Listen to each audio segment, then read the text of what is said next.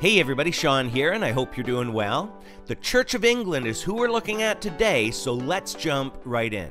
And special thanks to Carrie Merle for sharing this.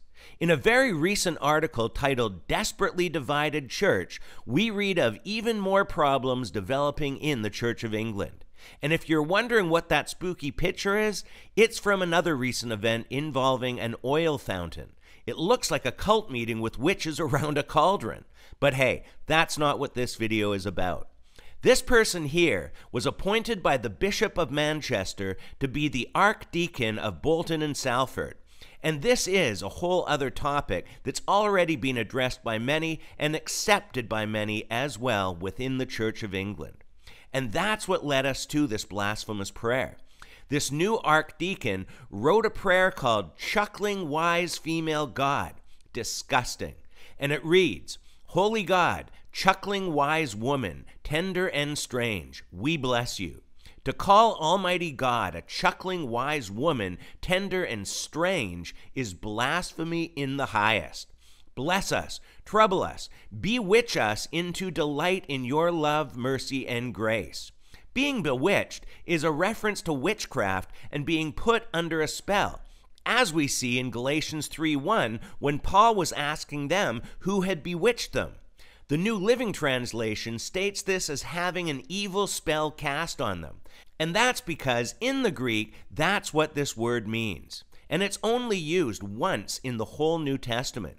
So using this word in a prayer to God is hardly appropriate.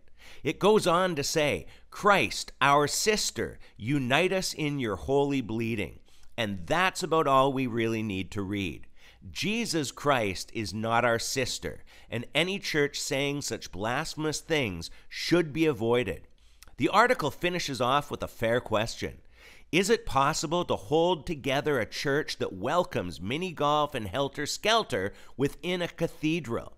Helter Skelter represents disorder and confusion, and which promotes these people who apparently wrote that the angel didn't want Mary to be obedient and that she regretted giving birth to Christ. Wow, now that's a whole new level of crazy teaching. Can a church like this stay together, or are they destined to fall apart? Well, here's a statement that speaks truth. When a denomination has no clear understanding of its core beliefs, it will find members believing in anything. And this isn't happening only within the Church of England. This is happening within the New Apostolic Reformation, the Demon Slayer movement, and many others that are going beyond Scripture to teach and preach what the Bible does not. The solution is to read the Bible yourself and allow the Holy Spirit to teach you to test the spirits and quit taking every word these people say as truth. In my personal opinion, the Church of England has been given over, but there is still hope for those in the church if they leave now. But if you decide to stay in a church like that, then you'll only have yourself to blame on Judgment Day. Repent and as Revelation 18:4 says, come out of her, my people, so that you will not share in her sins and that you will not receive any of her plagues. We're going to leave it here for today, but feel free to leave your comments below and until next time, take care and God bless.